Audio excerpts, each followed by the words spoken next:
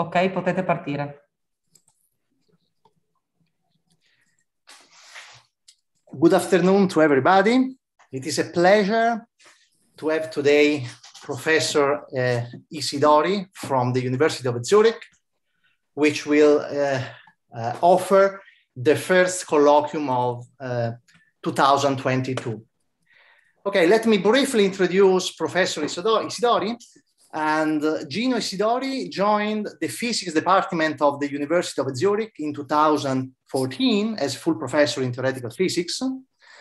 Uh, he obtained his PhD from the University of Roma La Sapienza in 96. And then he got several uh, researcher positions in SLAC, for instance, or at CERN. And then he became uh, director of research at the INFN in Frascati. Uh, then he was uh, uh, an invited professor at La Scuola Normale uh, of Pisa, and then a scientist associate at CERN from 2011 to 2013, before becoming full professor in Zurich. Uh, Gino Isidori is a leading scientist in particle physics. In particular, he has provided seminal and pioneering works in several directions, such as uh, works on uh, the vacuum stability of the universe, flavor physics, and effective field theories uh, relevant for uh, particle physics. Uh, indeed, the today colloquium is devoted to uh, a very important subject related to flavor physics, uh, which uh, stem from old problems to uh, recent hopes in flavor physics. And let me uh, conclude uh, just uh, summarizing few other main responsibility charges of Gino Isidori, And let me just comment that since last year, is a member of the scientific, scientific policy committee of CERN, and in the 19, he was awarded by the ERC Advanced Grant. Okay, uh, so uh, please, Gino, feel free to start the presentation as you wish. But before, let me just remind people that uh, you are allowed to interrupt the speaker and ask questions anytime you wish. And uh, uh, in any case, there is also a Q&A section at the end of uh, the colloquium where we could uh, maybe answer more deeply and carefully to uh, the question which will arise uh, during this uh, presentation. So please, Gino. Thank you very much, Paride, uh, for two, two kind introduction. Let me start to share this slide. yes. Can you see them? No, so I should put the full screen. Can you see the full screen? Yes, of course. Okay, uh, so it's really a pleasure to be here to participate in this colloquium, if uh, virtually. Um, and as Paride said, please interrupt any time uh, because I think uh, I'm happy to, to have a feedback of what I'll try to, to discuss. So I, I today we'll discuss about uh, flavor physics, uh, discussing both all problems and um, the first part of my presentation, and then focusing on some interesting recent results, which are these lepton flavor violating anomalies, uh, which I think are very interesting. Hope that we're maybe starting to see something new in, uh, in, uh, in particle physics. So, as you know, in particle physics, we have a very nice, elegant, uh, simple theory, which we call standard model, which is remarkably successful, describe all what we observe in terms of very limited set of basic constituent quarks and leptons, and the, the, the gauge boson that mediate the, the, the non-interaction is, is a beautiful theory, relatively simple and elegant.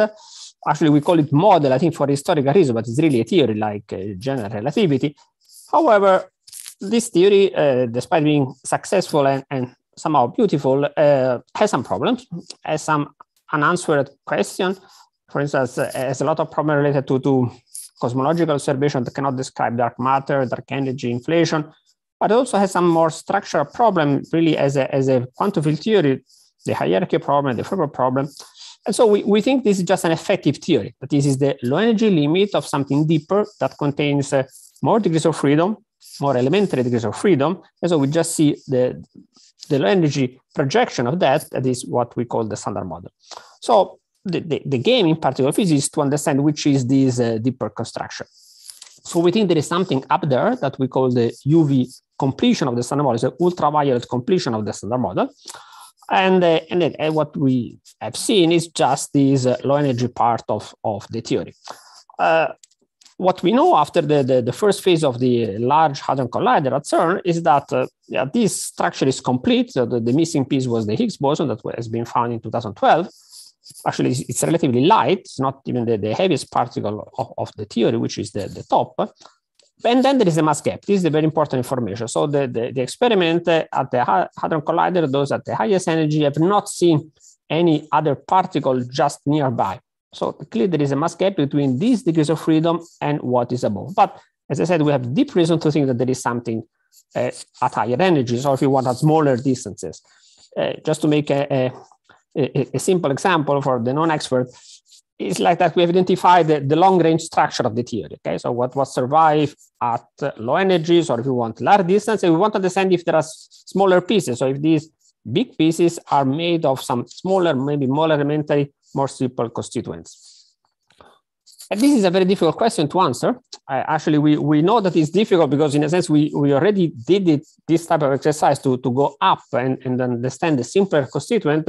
In the case of the standard model itself, actually previously there was the, the Fermi theory and so on. It took the 30, 40 years to, to build the standard model to understand this basic simple constituent rather than the further low energy layer, which is uh, all the nuclear structure.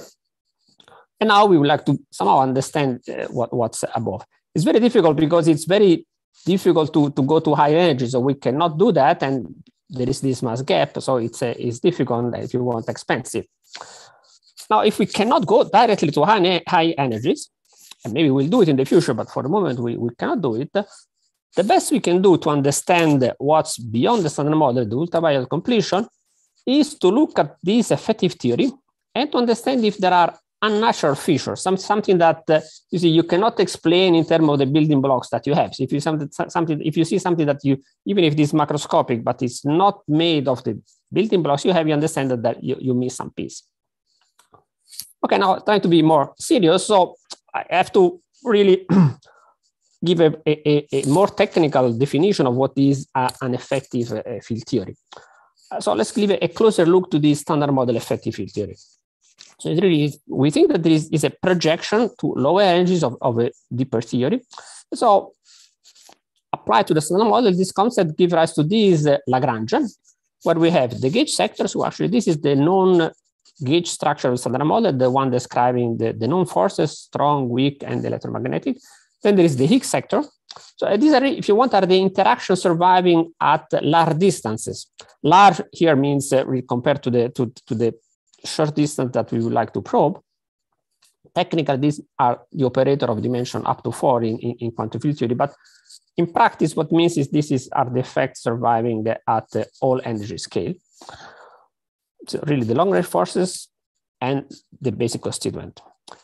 But then if there is something else, some heavier dynamics, uh, this would manifest at energies as a series of contact interactions. So we cannot really resolve these heavy dynamics, but if this is there, will give rise to a series of contact interactions that we describe with a series of higher dimensional operators.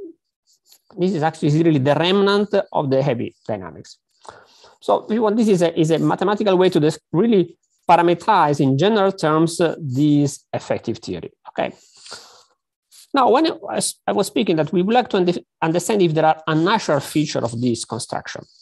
And now there are two independent aspects of this, this, this question.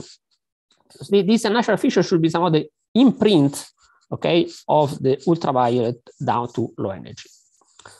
There are two aspects. One is, okay, here in the leading part, the one that survived at large distances, we can think of the, we, we, we, can, we can look if there are a natural aspect in the low energy coupling. So in the coupling here, in the, in the renormalizable part of the theory, if they are very unnatural, very strangely uh, arranged, this is certainly is, is an imprint of what, what, what is above. And this is a qualitative imprint because it really is, is, a, is a general property that whatever it's, it's, it's here will only change the value of this coupling, but uh, uh, we don't really know how it will change it. On the other hand, uh, a more interesting quantitative imprint of the ultraviolet theory is really this effective operator here, because they are not there if we don't have some extra degrees of freedom. Okay, so this is really a, would be a clear evidence of something new. Now, concerning this unnatural aspect of the energy gap, this is a, is a well-known thing. Uh, actually, the most notable case is the famous electroweak hierarchy problem. So what is the electroweak hierarchy problem? When, when we look at the Higgs mass, the Higgs mass uh, is described by one parameter here in the Lagrangian, the, the, the Higgs mass, but it, uh, it is sensitive to the possible higher degrees of freedom in a, in a quadratic way. So it's, it's very strange to think that this is uh, light unless this is the value that we measure, the 125 GeV, unless there is something relatively close by in energy that basically stabilize this. Okay, so this is the, the physical Higgs mass come from a, a competition of the parameter in the Lagrangian and this extra contribution. So this is the argument why we think that there has to be some new physics, there has to be there some new physics at most at around tera electron, tera electron volt energies, which is just a factor of one order of magnitude above what we see here, because otherwise we really have to, to, to cancel this, these two term to a, a high accuracy to, to, to explain the, the, mass we see. You see, this is not really a strong argument, but it's, a, it's, it's a, an interesting suggestion. There's something out there not too far from the energy scale that we have probed so far. Okay, this is a well-known fact. Indeed, actually, almost all the beyond the standard model construction which have been proposed in the last uh, 30 years or so were really about this fact, trying to understand how to stabilize the Higgs sector. What I want to point out in this talk that there is another interesting aspect, which is related to flavor. Okay, actually, flavor has interesting aspect in both this direction, the unnatural value of the standard model couplings and evidence of a higher dimensional operators. And uh, I think now it starts to be really a compelling set of, of indication that is, is telling us something about the ultraviolet completion. And uh, uh probably in the future, this will tell us even more. And, uh, and I think it's, um, if you a bit of a limitation to consider only the, the Higgs sector itself and not this information coming from flavor. So let's look at flavor more, more uh, closely. This was just to, to introduce the really the, the main theme. So flavor is a, is a, is a problem that has been with us since a, a long time, okay, really from the first discovery of another particle with the same property of the electron, which was the muon, okay? Uh, this will happen in the, in, in the 50. And after that, then we discover all this structure with three families, which is really puzzling. So again, coming back to our effective Lagrangian, here we have the, the, the gauge sector, which describe strong, weak, and electromagnetic interaction. As I said, these are really the, the long range forces of, of the standard model. This structure is completely, is very symmetric, okay? Is completely determined by the number of the, the, the particle that we observe at low energies and their charges under these forces. And what is really amazing is that we have three identical replicas. So here we have the first family, up and down quark, electron, neutrinos, charm, strange quark, muon, neutrino, top and bottom quark, tau, and neutrino, which from the point of view of the forces are identical. Really, there is no distinction between the, the electron the muons or the muon and the tau from the point of view of the strong, weak, and electromagnetic interaction. The same is true for up charm, for charm top, uh, strange and down, and so on. The only thing that distinguishes this particle is not the gauge sectors or not the standard long-range forces, but the interaction with the Higgs. The Higgs, okay, is what is a kind of a background field in the theory, interact, interacting through which the particle acquire a mass. Because actually, if we were only because of the gauge interaction, they would be all massless. On the other hand, they interact with the Higgs to get the mass. And so the famous Yukawa interaction is the interaction between fermions and the Higgs that given the Higgs as a non-trivial vacuum expectation value is the way we describe fermion masses, okay, quark and lepton masses. These masses are uh, now are generic, okay, are, are, well, we, we could, could have expected they are generic numbers because we don't know what these coupling are. And what we observe is that on the other hand, they are very hierarchical. So the, the first family has very small masses. You see in this table here, you see the, the, the different, uh, it's, it's, a, it's, a, spectrum in a logarithmic scale. So we have very light masses for the first generation, heavier masses for the second generation, heavy and even more heavy mass for the for the uh, third generation. Actually, between here and here, there are five order of magnitude of separation. So it's really a very hierarchical structure. Also, the mixing, uh, these are three by three matrices in what we call flavor space. So flavor is really this dimension of, of generation, okay, are, which is a, is a compact structure with only three uh, layers, but it's a, it's complicated enough because it, everything are, are, three by three matrices. And for instance, I show you what we deduce about this coupling here in, in, the case of, of the up quark is a very hierarchical structure. I indicate with the color if you want the different strength. There is one coupling which is uh, as a strength uh, one, which is the top quark Yukawa coupling. And then we have other coupling which are much smaller. So the, the coupling here, Vts, which control the, the mixing of the top to the second generation is, is a 0.04. It's already much smaller than this one. The, the, the charm Yukawa coupling is, uh, is 5.5% and, and smaller and smaller value here, which I don't even not even put. So clearly it's a, it's a very hierarchical structure. This one means how the particle interact with the Higgs and therefore the masses that we observe at uh, low energies which doesn't appear to be accidental. This is why we, we call it a, a problem. It's not really a technical problem, but it's a, it's a puzzle, okay? It's a, we don't understand why it is like this, and we would like to have a deeper explanation of this because it doesn't look uh, at all accidental. So summarizing, what we observe in the standard model is a very symmetric structure from the point of view of, of flavor. It is a large flavor symmetry, so the gauge interaction, the known forces for them, the three families are identical. Actually, this technically is a big symmetry, U3 to the fifth power, because we have five different fields with, the, with the, which appear in three copies. And then we have a very peculiar breaking eh? coming from only with interaction with the Higgs, which are these Yukawa coupling. They, they break this uh, eh, degeneracy, eh, this flavor symmetry, but in a very peculiar way, in a very specific direction, because it's, it's a left-right coupling, and with a very hierarchical structure. So I call it the peculiar breaking.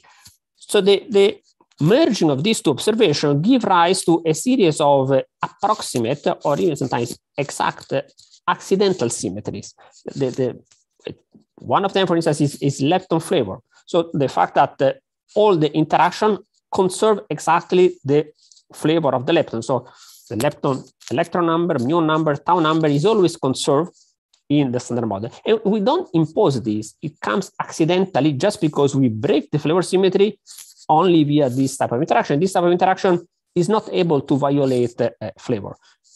This is an exact symmetry, but there are a, a lot of other approximate ones. For instance, isospin is just an approximate symmetry because the masses of up and down, which are non-zero, but they are, they are also even not uh, equal, but they are all very small. So we can neglect them in first approximation. And this is what gives rise to approximate symmetry. Again, the, the Yukawa coupling here responsible for up and down masses are very small. So this gives rise to an approximate symmetry. And there are several of those, okay? Which because of this peculiar breaking structure. I think it's, it's worth to uh, investigate a bit more about this concept of, of uh, uh, approximate symmetry. I will come to, to, to, that in a moment. But before, before discussing that, let me say that in principle, if there are these extra degrees of freedom, we should expect many other sources of, of uh, breaking of the flavor degeneracy. For instance, I can build an operator of this type, which couple uh, two fermions with other two fermions, an interaction of this type, and this could contribute to meson anti-meson mixing and would spoil completely what we observe. So we are able to put very strong bounds on the interaction of this type, which, which you see here illustrated in this uh, diagram, bounds which go to very high energies, I mean, up, even up to 10 to the 5 or more uh, tera electron volts, which means that this extra interaction, if they are there, they really don't break flavor in a, in a generic way, okay? As one could have expected, again, if there is something, uh, if flavor is not a special property. On the other hand, Similar to the Yukawa coupling, also here we seem to have to see some very peculiar structure with, the, with either with really no new physics out there up to very high energies, or with a very peculiar type of, of breaking. So as I was saying, I mean, I, I want to uh, discuss a bit more this role of the flavor symmetry. Uh, are they really accidental, fundamental, what, what, what they are?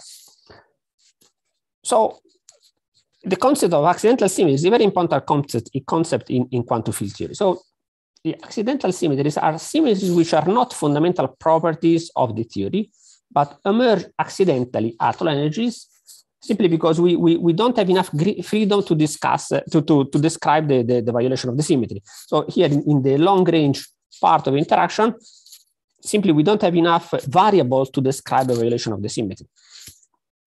It's like in a multipole expansion, we just see the, the, the leading multipole. But the idea is that this symmetry is not really a fundamental property of, of the ultraviolet theory. So if this is the case, then I mean, at some scale, we should really have a violation of the symmetry, which then will manifest via the contact interaction also at energies uh, as, a, as a breaking off or, or, violation of the symmetry. So this is a, is a very powerful way to possibly reveal the presence of mu degrees of freedom. It's very powerful because uh, you see also experimentally, it's easy to see a violation of a symmetry, even if it is very tiny. And here the effect is tiny because it's suppressed by the masses of the, of the, the scale of the, this uh, extra interaction. But uh, um, we can see it because uh, it describe a phenomenon which is not present in the in the leading part of it. There are well-known examples in the past that this has been very successful as a way to describe to describe uh, physics beyond the, the, the scale probed directly in experiment.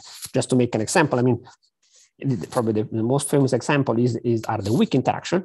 You see, in the, the, the, the Fermi theory was discovered, I mean, what, because if you just take strong interaction and, and QED, you have an exact flavor symmetry. So these two interactions cannot describe any violation of, of symmetry. Indeed, the, the, the weak interaction, even if it was much weaker, was seen because it was the only interaction allowing a change of flavor up to down quarks is, is, the, is the weak interaction, the beta decays.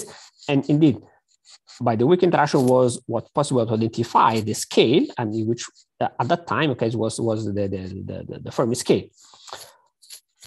Another maybe less trivial example is the, the case of the standard model with two generations. If we take the standard model with two generations, we have as accidental symmetry CP because we can remove all the, the phases and therefore uh, we cannot describe CP violation. So in the in the 70s when the standard model was was uh, started to be built uh, actually there was uh, when, when the J/psi was discovered was a, a case where we have a standard model with two generations and there was a puzzle in how to describe a CP violation this could be described with an effective operator it's called super weak interaction. And actually nowadays we know that this was the manifestation of the top quark but at that time was, was not uh, at all obvious Indeed, one could associate this effective interaction to a, an SD operator, which again we now know is mediated by the top. And the scale looked to be a very heavy scale. This is why it was called a super uh, uh, weak interaction. And again, this was a bit of accident, and is telling us that actually when we identify this effective scale, we should not take it too seriously because I mean, not too literally as, as the scale where the new dynamics appear, because the things can be more complicated. For instance, this effective scale of the super weak interaction was 10 to the 40 V. There is nothing at 10 to the 40 V. Actually, there is the top mass much below, but then because of a small mixing, these effectively correspond to this scale for this effective operator. Okay, so closing the parentheses, well, I'm stressing all this because now the violation of Lepton-Flavor universality, which are reported by experiment uh, nowadays, which we now will now discuss in more detail, really belong to this uh, type of effect. So they are a violation of an accidental symmetry of our standard model. Another very important effect in general terms about uh, uh, um, accidental symmetry is that they allow to have stable scale separation. And to, to explain this concept, let me make another example, which probably is well known, which is the case of, of neutrino masses. Now, as we know, in the standard model, we cannot describe uh, non-vanishing neutrino masses. To do that, we have to do it via an effective operator, a dimension five operator.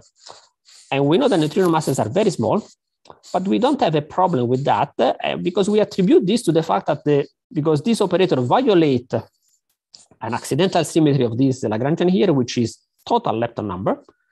And therefore, we can think that uh, this scale is, is uh, the scale where this symmetry is violated is very heavy. That's why neutrino masses are very small. And so this is why this operator is very suppressed. But this doesn't prevent to have uh, other intermediate scale where, for instance, we stabilize the Higgs sector. So this concept is very important because it's telling us that uh, seeing violation of a symmetry, first of all, we can probe scale which are really very high, and also that we can have a multi-layer structure, okay? If, uh, if uh, a, a, some new physics is associated to, to a breaking of a symmetry, can appear at scale much higher than other type of, of uh, new physics. You see, this I think we, we all accept this, accept this concept, uh, concept in the case of lepton number, which is an exact symmetry, but the same can be true also for flavor physics. So we can really have different layer where we break the flavor symmetry in different terms.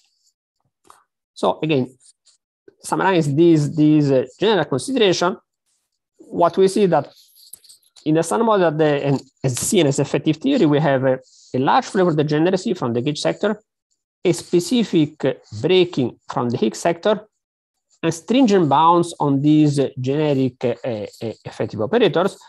And, and, the big question what we like to understand is really how these flavor symmetries, these approximate flavor symmetry that we observe here are broken at high energies, which is the, the possible different layer structure hidden beside what we observe, okay? And of course, this problem has been with us since a long time, and there are different hypotheses have been formulated. So let me emphasize here two of the most popular one. So the first, I mean, the, the, paradigm that in a sense was used for a long time in flavor physics, also to explain why we don't see big effect here, is so-called the so-called minimal flavor violation hypothesis, which is the following basic idea. The idea is that, okay, we have the electroweak symmetry, we have the electroweak scale, the Higgs scale, but the scale where flavor physics is generated is a much higher scale. So really this uh, approximate U3 to the 5 symmetry, this assumption is that this holds up to very high energy scale and is broken maybe close to the Planck scale or whatever, at much higher scale, not accessible in experiment. So this idea was a, a, good attempt again to explain why we don't see anything here, because we basically say that the only break in flavor symmetry are the Yukawa coupling that we generate at some very heavy scale. And it was the way to achieve the smallest possible new physics scale to stabilize the Higgs sector. So that was the, the rationale. Postpone the breaking of the flavor symmetry as much as possible. This is technically doable because it, it's, it, it's a breaking of a symmetry which can, can happen at very uh, high energies, such that we can lower the effective scale of the flavor blind new physics as much as possible. But now we have not seen anything around the corner. So this lowering of the uh, scale of new physics is, is not very much effective because actually now we have uh, direct searches which are telling us actually there is nothing around the electroweak scale. We have to push the scale of new physics a bit higher.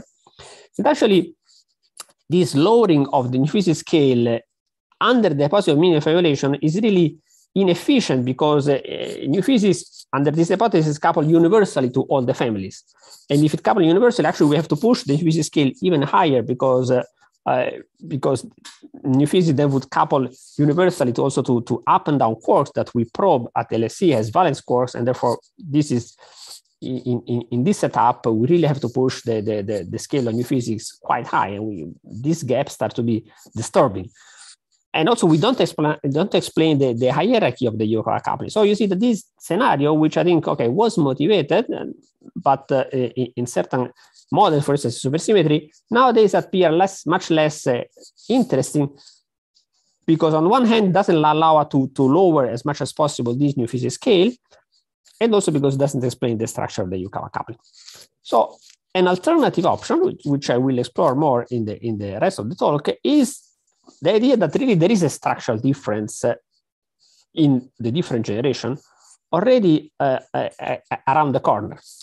That is, and this really the, the, the the accidental symmetry at work, the, the one that we see that protect uh, flavor mixing uh, beyond the standard model, act only on the light generation, so the first two and not on the third one.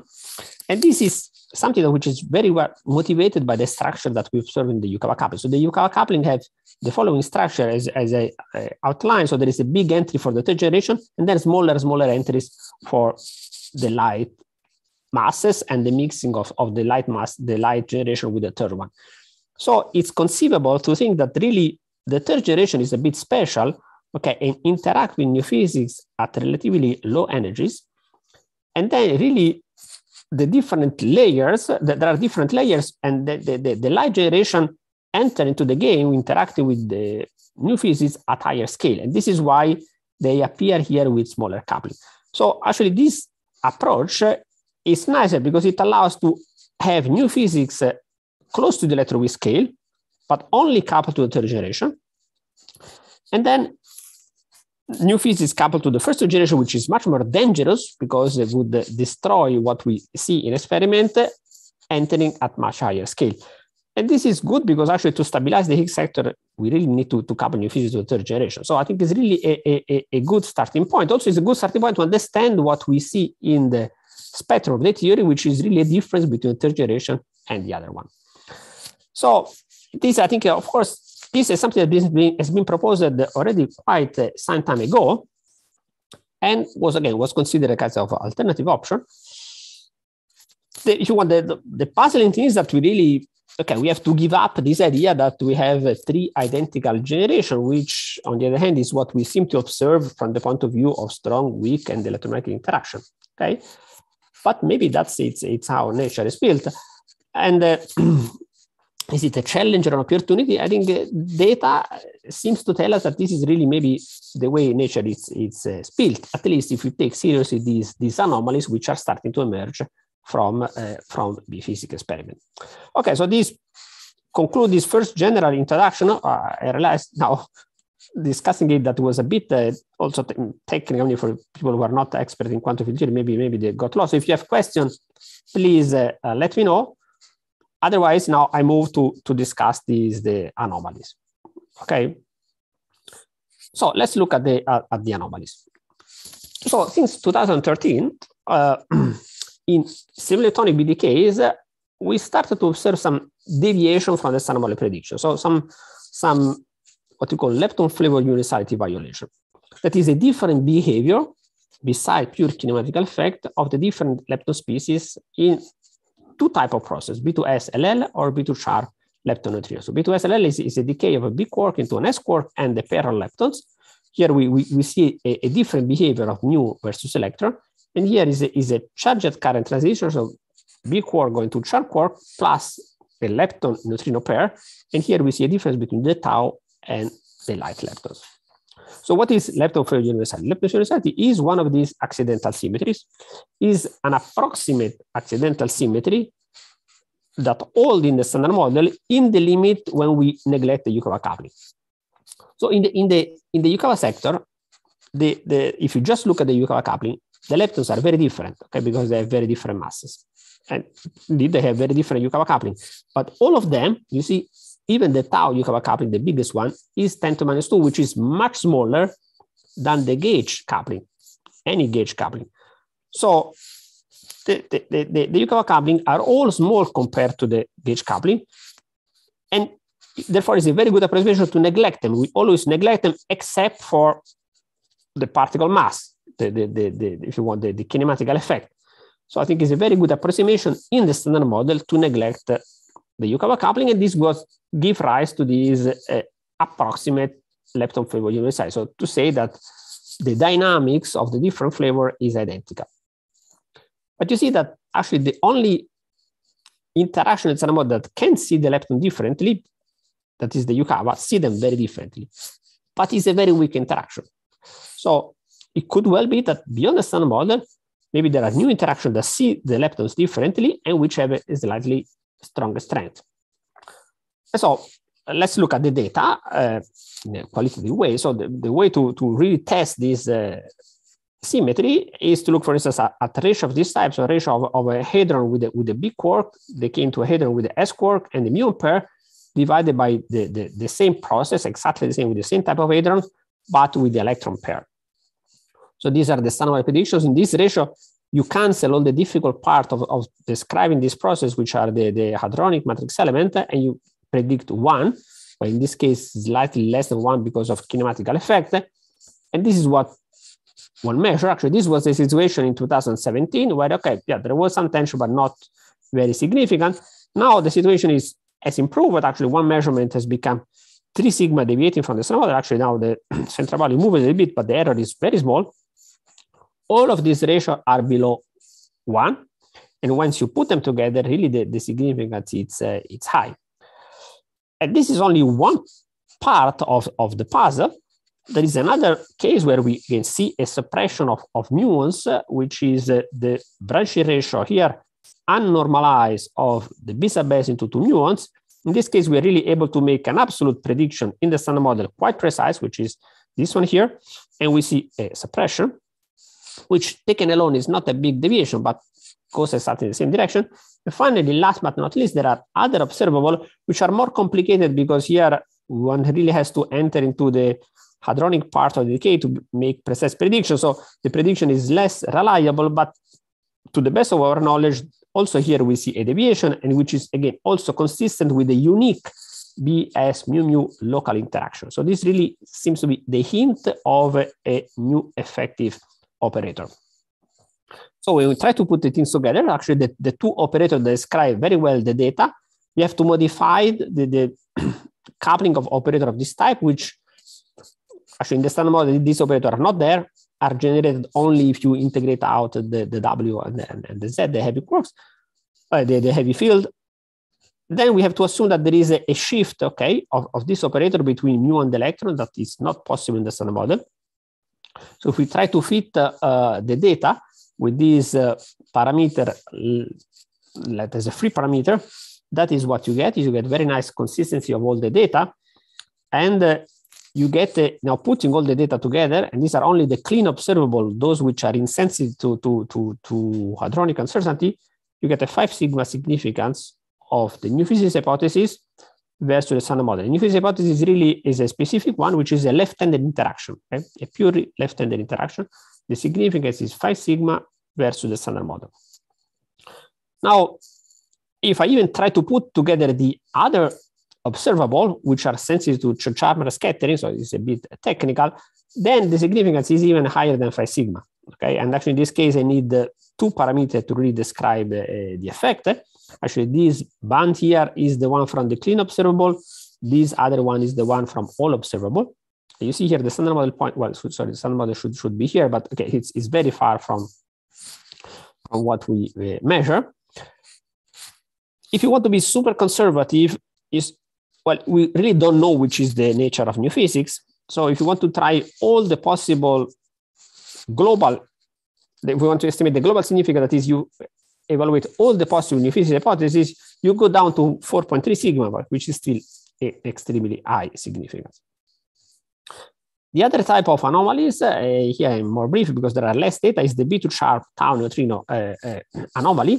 Again, here also this is measured via a ratio where we cancel hadronic uncertainty standard prediction is clean, consistent result of, of three experiments which differ by three sigma. So this is the standard model and this is the average of, of the result.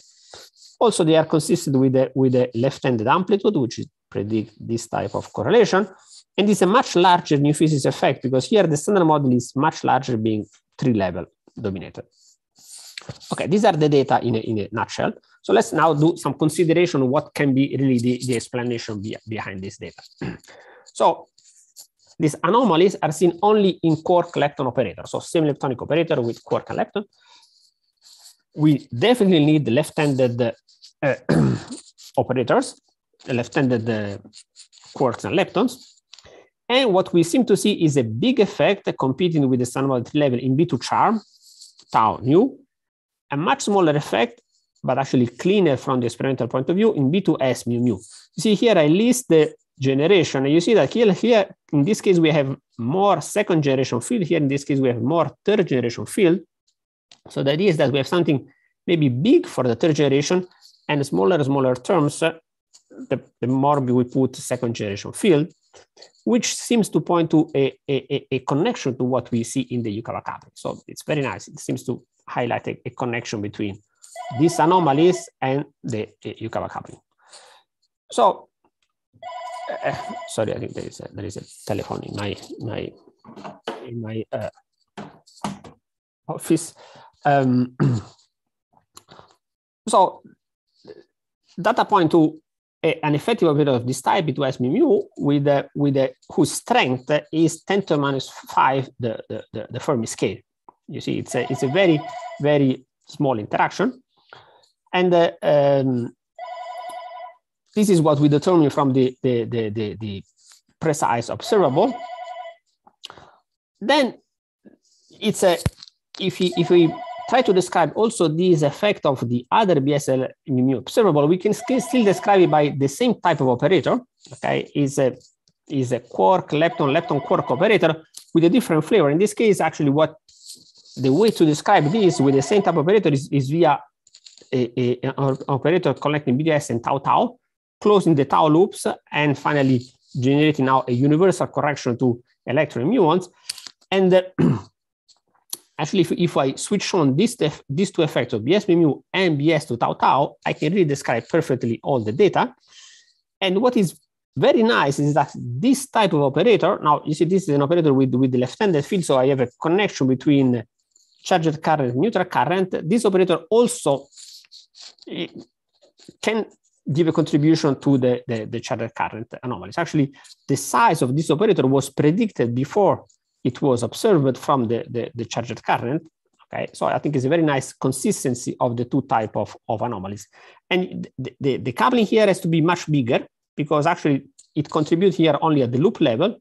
So get a suppression because of, of the loop effect. So you see here from, from the scale of this operator, so the, the two, three mu mu operator, I call I call the coupling of this operator with a label that determine the, the, the quark second, third generation in the down basis and the lepton here. So here the scale is essentially 10 to minus 5 in units of the Fermi scale, while this other operator to 3 tau tau is uh, 10 to minus uh, 3. Okay, so there is a two order of magnitude difference between these two.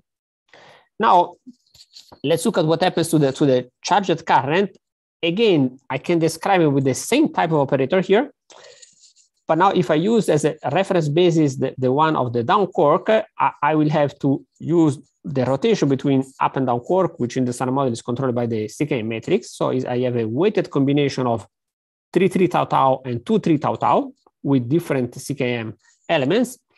And so I have a, if you want, the, my observable, which is the B2 sharp tau, define a area in this plane where I have the two coefficient here. And here the relevant region, because I, I, I cannot have a too big 3 3 tau because of, of bounds from high energy observable, is the region where these two are separated by, again, a factor of 10 to minus 1. And finally, here I can put the, the previous information that I get from the charged current, from the neutral current, because this 2 3 tau tau appears also in the neutral current via this loop effect. And you see there is a very nice consistency. So it's like it, this idea that there is something big for third generation, the 3 3 tau tau is the biggest effect.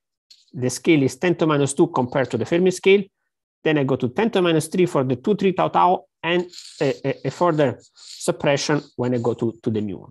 So just to give you a, a, a, summary, this maybe not, not to get lost in, in all this data. So which is the idea is that we have something big for BB to tau tau, okay? And the, the, the, the, biggest anomalies from the point of view of the data is this B2S mu, but this is a small effect, but it's the one on which we have the, the higher significance. And so we have this BS mu, whose strength is 10 to minus 3 times a, a, a, a scale. And the, the, idea is that there is a natural connection toward a, a stronger interaction here, which involve, on the other hand, only third generation. This one, again, we see it here in BS mu. This one when we do the CKM rotation, contribute to, to B2 charm uh, lepton neutrino. And then, of course, the, the idea is that each time I put a second generation field, I pay a suppression factor. So there should be the intermediate step. So here I have BB tau tau, here BS tau tau, BS tau mu, and BS mu mu, some of these effects have not been seen yet. For instance, we don't see BS tau mu, but simply because this is difficult to, to observe.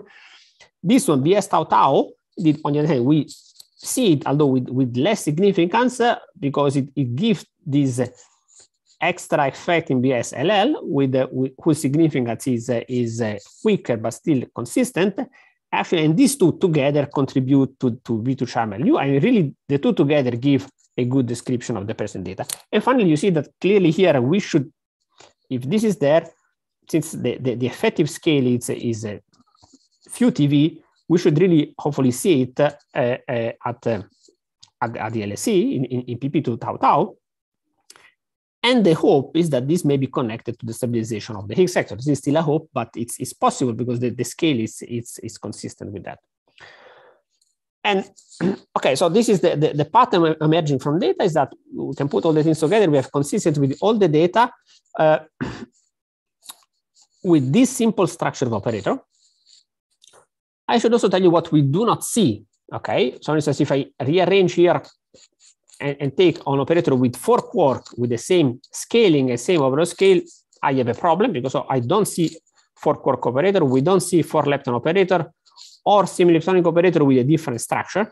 And this calls for, for a specific type of, of UV completion that is we only generate this operator at least in first place, and this can be done with the leptoquark uh, models. Indeed, not by, by, chance here I have a leptoquark current, QL current, not a, a QQLL structure.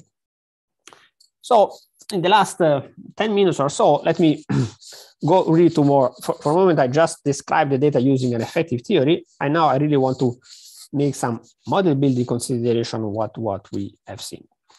Again, starting from the, the, the, the, the flavor structure. So if, if, when we identified an EFT construction, if you really want to go deeper understand the, the, the ultraviolet completion, we have to understand the flavor structure and the nature of the mediator. Now, concerning the flavor structure, again, to understand what we see, let me go back to, to what I told you was the old paradigm, uh, paradigm, which was minimal flavor violation. That was the idea that the old idea that maybe flavor physics is uh, new physics is flavor blind, so doesn't see flavor up to very high energies. This paradigm was indeed the idea of concentrating on the stabilization of the Higgs sector, which should appear close to the electroweak scale, and then kind of nothing else. So it was the idea that the, the, the three generation are kind of identical copies up to very high energies. Now, what these data are telling us, as I try to illustrate, that this is not the right way to address the problem.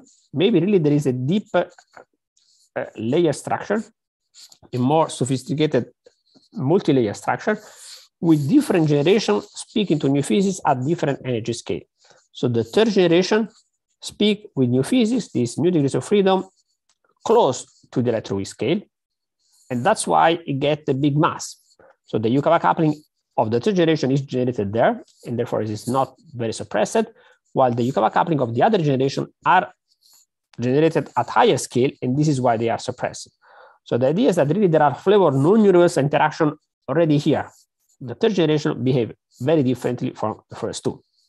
So we cannot treat the generation as identical copies up to area scale. This fact that they appear as identical copies at energies maybe is just an accident. It's an accident because they have the same charges under the long range forces.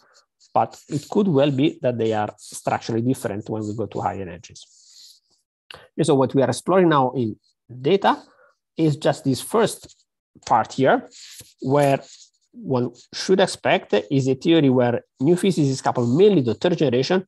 And in first approximation, we can treat the first, the light families as uh, the, the first two families as massless and decoupled from new physics, except for small mixing effect. And this really is connected to what we observe in the Yukawa couple. Concerning mediators, we, which can be the, the, the good mediator, eh, I already anticipated, I think clearly the best candidates are leptoquark because just because of the simple fact that we observed anomalies in semi-leptonic operators, which are generated by the leptoquark at the tree level, and we don't observe bit deviation in process like four quark, which would be generated by the leptoquark at the one loop level.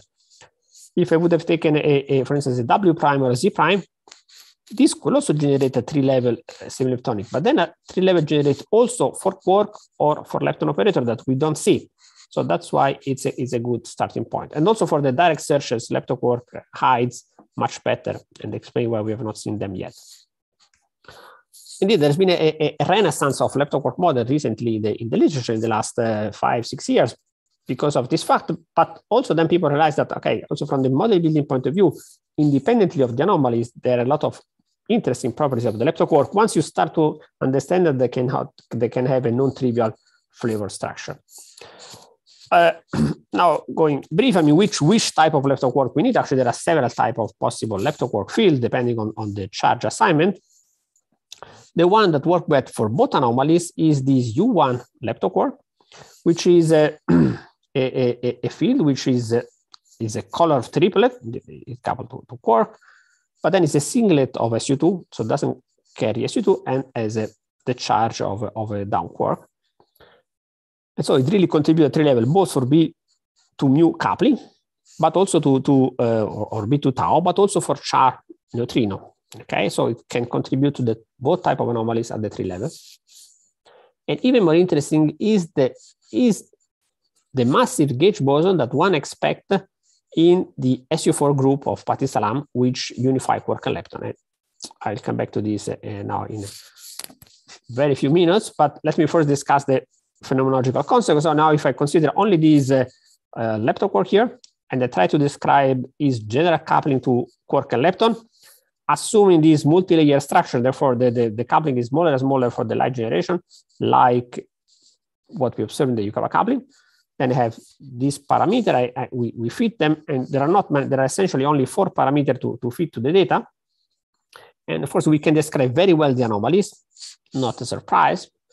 What is, if you want a, su surprise, that uh, we do not hit bounds from high energy observable, and actually that we predict something for our high energy observable, which is really around the corner. Okay, it's actually this is these uh, you, you determine, you fix this coupling B to, to tau from the anomalies, and then you predict this region here. Okay, this is mass versus leading coupling. The, the, this GU is, is, the coupling for the third generation here.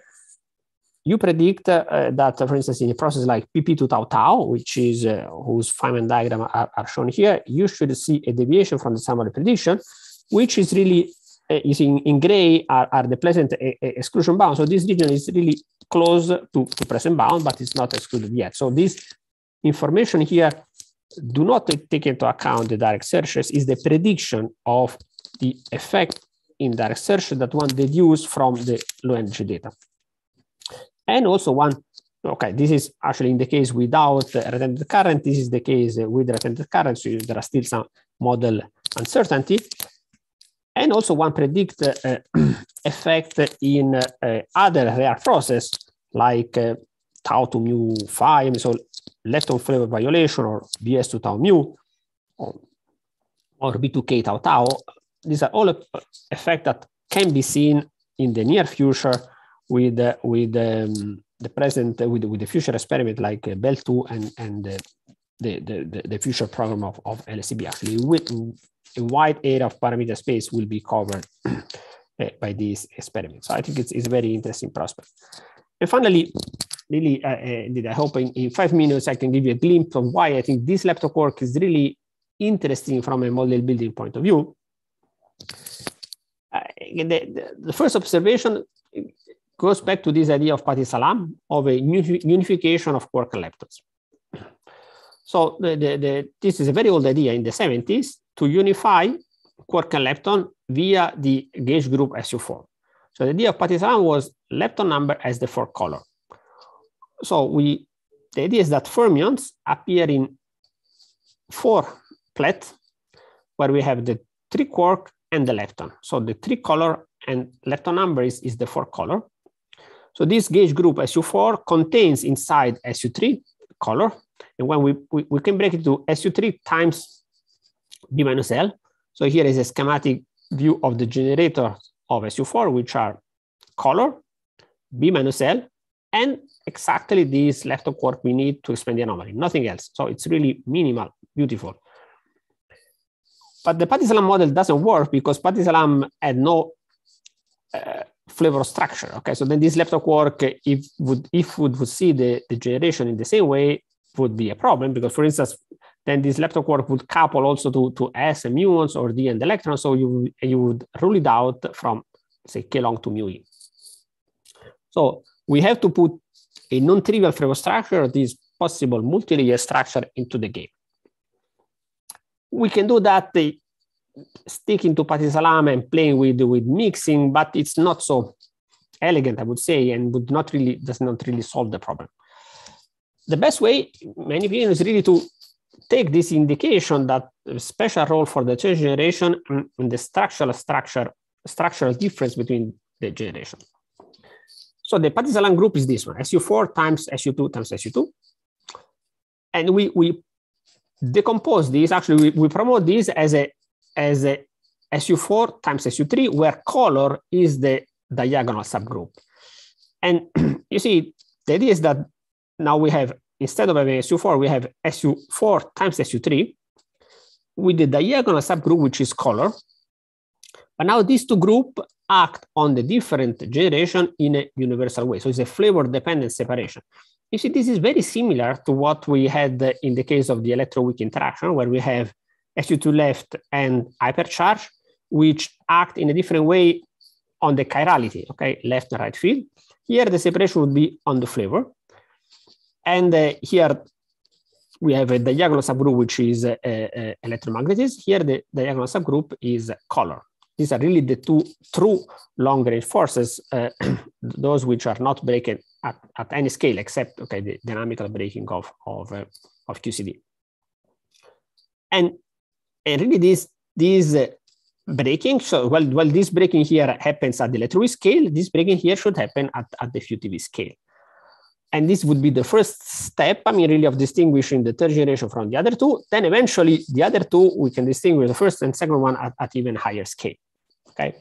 Indeed, there are a lot of options which have been proposed in the literature to, to, to further complete this. I will not enter into the game, but really the, the, the, key structure is this one. So it's, as you, so it's like uh, having a more uh, deeper structure behind color. So color really emerge as a subgroup of a, richer structure that see flavor in a different way.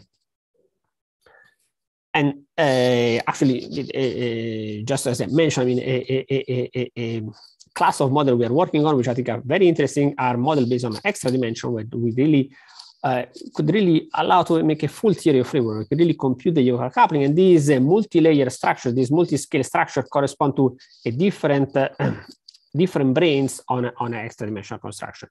Okay, this is just to give you a glimpse that I think is really very nicely motivated class of model. But now from the point of view of phenomenology, sorry, really what matters is this structure here, SU4, SU3, SU2, U1, where again, color is the subgroup here, which has to be broken to the standard model. When you break it, the point that we have the, in SU4, you have the nice lepton quark, but then clearly you have more generator here. So you have a, you have to break also the residual SU3. So you get in addition a Z prime and the coloron that is a, is a heavy octet couple in a non-universal way to light and third generation.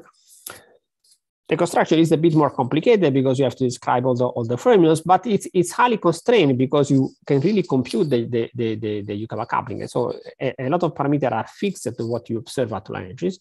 And in this set up, really everything is calculable. It's a normalizable theory that reproduce all the features of the EFT. You can compute also process like delta F equal 2 that you were not able to compute in the pure EFT approach. You can make further precise prediction for IPT data, and you predict something more. For instance, I mean, just to make an example, I mean, the new striking signature is this coloron, which is a kind of heavy octet coupled mainly to third generation, which, for instance, you should be able to see in proton-proton to, to top-top. Uh, so top-top collision, top-top production in proton-proton collision. I think it's a very interesting, exciting things. All this related to this non-trivial flavor structure, which seems to, to highlight also non, non-universal gauge interaction. Okay, so I think it's, it's time to conclude. I, I, I hope I give you a message that flavor is, is an essential ingredient to understand the structure of the SMEFT, I mean, so the standard model seen as an effective field theory. Actually, this statement was true, I mean, is there even independent of the anomalies. We just see it from the Yukawa coupling. Okay, we tend to ignore it. I think for, for a long time simply because we don't have really good models, but I think it's it's there, and the recent anomalies really reinforce this fact. The statistical significance of the anomaly is really growing. I mean, the B2SL system, the chance that this is a pure statistical fluctuation, it's, it's marginal, I would say. B2 charm is still, is still an open issue, but B2SL is really significant, it's high. And when you combine the two set of anomalies, then really the indication toward new physics it's it's quite clear. I mean, of some new physics which uh, which has non-trivial flavor structure, appear around the TeV scale, and involve mainly the third family, and possibly therefore is connected to the to the origin of flavor.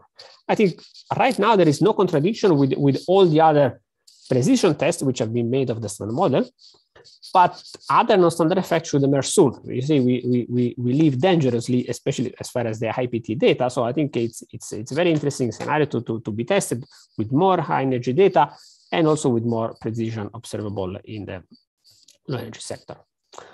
Okay, thank you very much. And sorry if I went, I mean, put too many things I realized, but uh, okay, I, I cannot resist to, to show the excitement that we have in this field.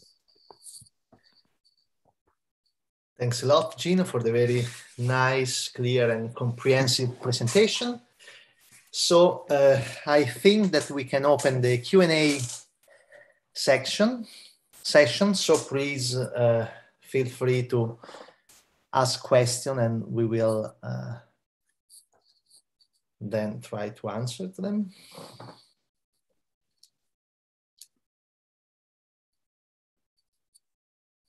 There is an, uh, a hand raised. if you want, I can. Uh, ah. Antonio Masiero, if, if, you want, I can uh, allow him to talk. Sure. Sure, please. Yes. Uh, can you hear me? Perfect. Yes. Okay, so uh, thank you very much, Gino. It was a very nice uh, colloquium. I was wondering the following. Uh, as you know, mm, the other possible uh, hint for the presence of new physics uh, uh we have uh, um, in uh, low energy physics comes from the anomalous magnetic moment of a muon. Um, so I was wondering, since you have uh, this uh, uh, new physics uh, at the TeV scale, it is related only to anomalies uh, in third generation, as you pointed out. Uh, yet, you know, one can wonder if this new physics could produce also, say, uh, effects not related to flavor physics, but other. Uh, no, uh, Antonio, yes. I, I, I, completely understand that the point indeed actually is, is a question that I, I receive often my, myself. I ask myself, so which could be the impact on, on G minus two? Actually, I, I have one, one slide prepared on this. Yeah.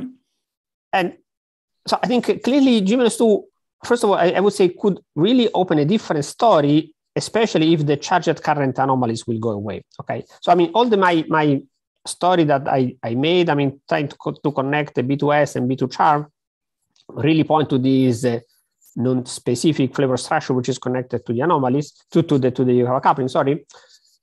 If the, the charged anomaly go away, I mean, one can still try to combine BS mu mu and the, the G minus 2 anomaly. Okay, this is actually very natural because actually both of them involve muons. So certainly muons are player a, a, a, both in the in the B physics case and the case of the of the G minus two. So let me first discuss this. So suppose that the, the B2 charm anomaly goes away and just want to, to combine these two. So can we do that? Well, uh, in this case, I think clearly the best way to would be to, to give a special role to muons.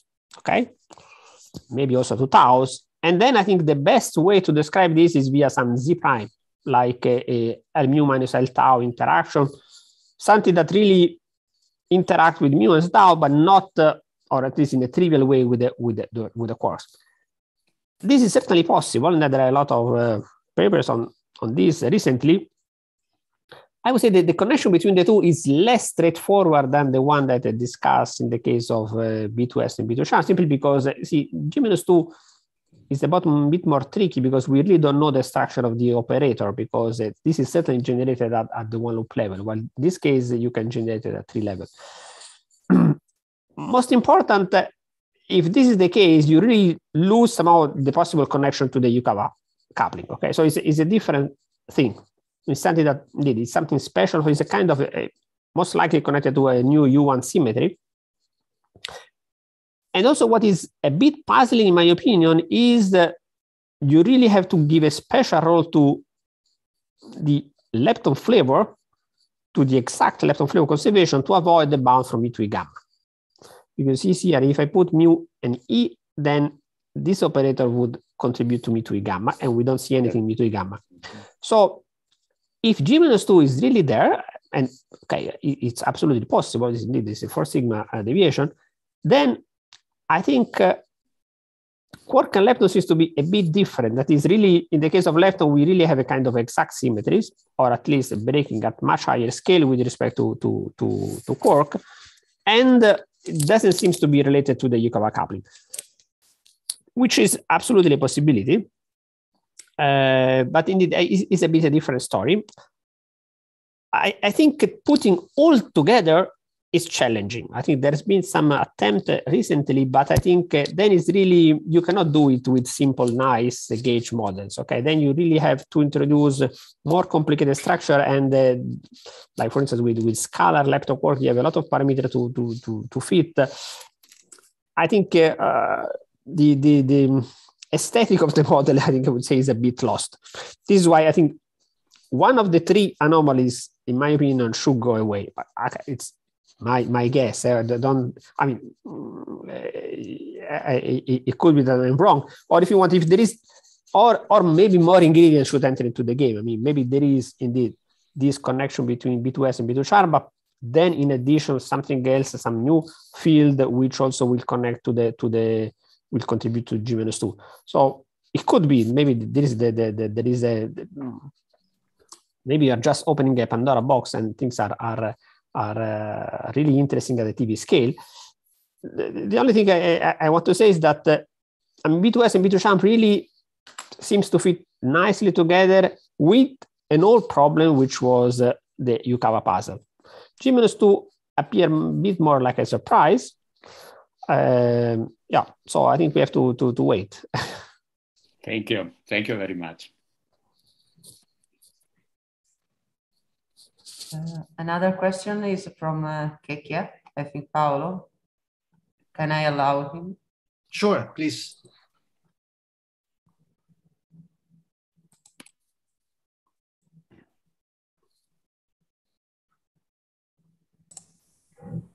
Can you hear me now? Yes. Okay. Perfect.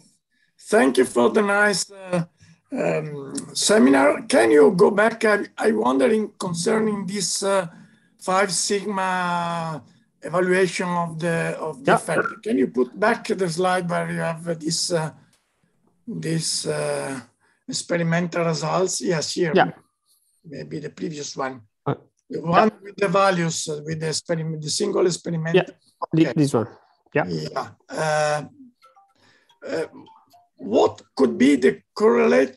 Okay, something that correlates the measurement. I mean, some uh, theoretical computation or something like that that makes uh, uh, the deviation uh, up to five sigma if you don't consider that the correlation can lower down the, the, the significance. Oh, okay, this is a very good point. So you see, indeed, not each measurement alone is not particularly significant. Actually, the, the highest significant is only uh, three sigma, okay? On the other hand, we can combine all this measurement under a very general hypothesis. The general hypothesis that new physics is generated by a contact interaction of the type B2S mu mu. And this is just the, the hypothesis saying that new physics is heavy. Okay, if new physics is heavy, then you really can describe it only by these effective operators. There is nothing else. So you cannot uh, change each bin of the measurement. So you should change them in a correlated way because you, you don't assume that there are new light particles. So you assume that there is only a new local interaction, like a new Fermi type interaction. So this gives a correlation, a way to combine the different measurements. That's why in this case, we reach the five sigma. Okay, so it's just the hypothesis of having heavy new physics, that is a contact interaction. Was it clear? Yes, thank you. So, and, and to be maybe maybe more precise, you see the, the type of contact interaction we are considering are, are, are these two, and this with these two, we really get the, the, the five sigma. If we allow the most general type of contact interaction, we get the 4.3 sigma because simply there, there's a kind of loop, loop uh, look elsewhere effect because there are different type of interaction. But even considering them all, still the significance is, is uh, quite high. Okay, thank you.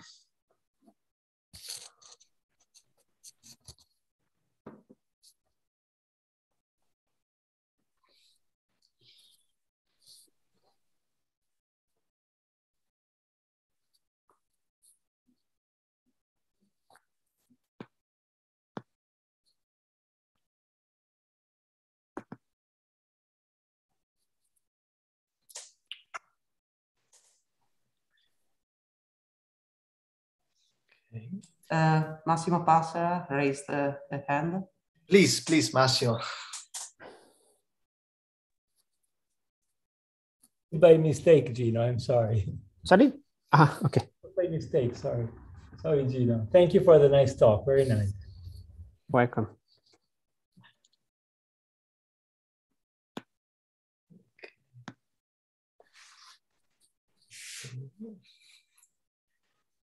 So if uh, if there are no other questions, I would have a very general question to Gino, and uh, uh, uh so which is maybe relevant for our young students, no? So um, what is your impression? This field of research, uh, which of course includes both experimental, uh, the experimental frontier as well as the theoretical frontier to interpret possible uh, discrepant data that we which will be hope, hopefully reinforced by current experimental results. Uh, which are which is your your view? I mean, uh, it's it's a field that could uh, uh, achieve uh, some relevant progress in the next few years, in the next few decades. Uh, which is your timeline that you i i, I yeah, there's a thanks for the question. I think what is really exciting is that uh, in the next few years we should re- all these uh, will become much more clear because of, of, new data. So while it will be very difficult almost i would say impossible to go to, to high energies on the other hand on the improvement this low energy measurement uh, really that we expect a kind of breakthrough because uh, we expect uh, 10 times more data pretty soon also for, from different experiments which will be even opening up new new channel which so far we we, we don't observe. So particularly Belle experiment in in japan which just started. So i think uh, i really i think in, in a short time i think this issue will be clarified. So if these anomalies are there and i think uh, really b2sll the significance is high we should uh, clearly see that in different experiment in different observable in a, in a relatively short time. This question of, uh, of three to four years. And then uh, still, there will be a long program because we can add more observable, look at more suppressed channel, and we can learn much more. Did I when, when I when I was trying in my qualitative uh, thing here, you see, I, I try to sketch. See, there are a lot of different uh, different operator all connected, and uh, for instance, like a process like B2S tau mu is something that we should see uh, and uh, and it's a it's um, really the interplay of the different observables what makes this uh, field interesting. Okay, and, and, there I think we really expect an interplay of, of measurement that will uh, will uh, will be able to to to, to make significant progress short in, in a short time scale. I see. I see. Thanks. Thanks a lot. I stop sharing. Okay. So Sarah, do you see other raised hand? No, no, no. No. There is no one. Okay, so if there are no other questions, it's time to thanks uh, again Gino for the very nice and uh, comprehensive talk. And uh, we, we, we all hope that at some point we'll be able to, to meet in person and to, to make this discussion even more lively and, uh, and uh, fruitful. And uh, thanks again, Gino, and see you as soon as possible. Thanks to you. It was uh, was really a pleasure to to join. So sorry if I, maybe I put too many things, but I, did, I, I hope, No, I hope no, at least to give you a, a glimpse of the. I think it's really an interesting interesting field. Absolutely. Okay. Absolutely. Absolutely.